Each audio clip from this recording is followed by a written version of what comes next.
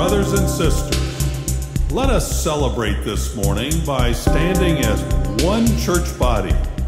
Let us lift our voices together, giving all praise and glory to God the Father Almighty by affirming what we know to be true.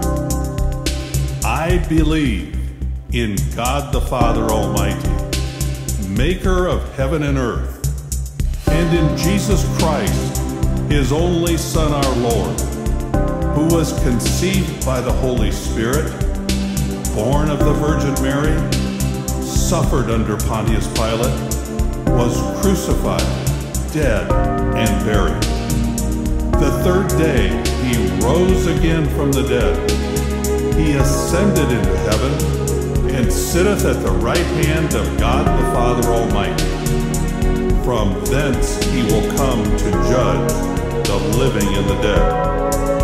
I believe in the Holy Spirit, the Holy Catholic Church, the communion of saints, the forgiveness of sins, the resurrection of the body, and the life everlasting.